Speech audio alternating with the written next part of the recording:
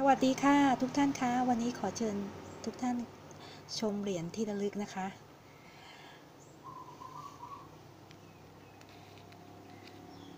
เหรียญที่ระลึกในวาระการกำเนิดลูกเสือของไทยนะคะ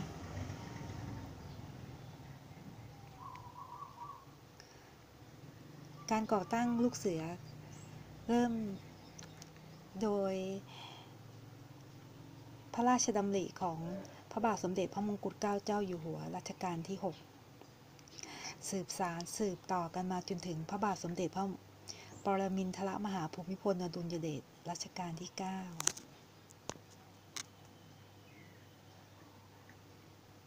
กำเนิดลูกเสือไทยครบ 80 ปี วันที่ 1 กรกฎาคม พศ 2454 ถึง พศ 2534 ครบ 80 ปี ในปีพศ 2534 นะคะ เสียชีพอย่าเสียสัตว์คำนี้คุ้นคุ้นเคยมาก ๆ เลย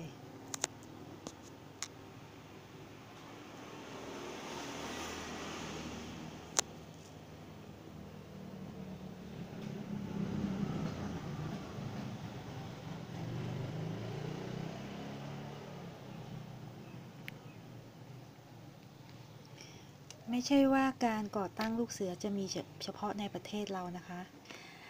ในต่างประเทศก็มีนะคะ เหรียญที่ระลึก 10 บาท 2 สี ในวาระ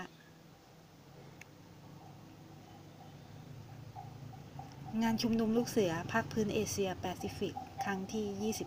25 พศ 2548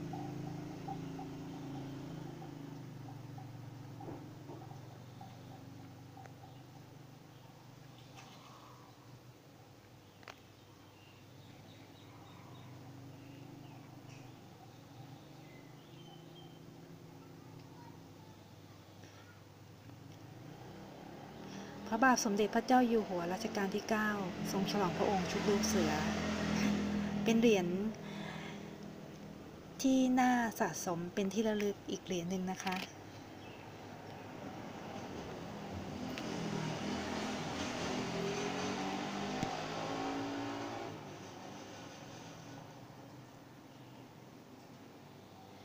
มาให้ทุกท่านได้รับชม